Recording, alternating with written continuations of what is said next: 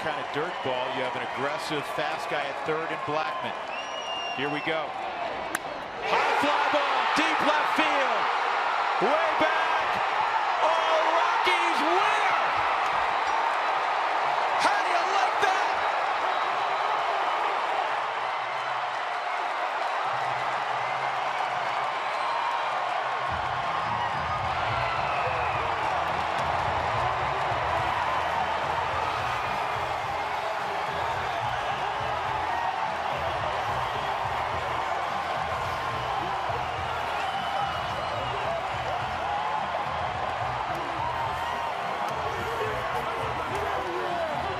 By the way, that's a cycle.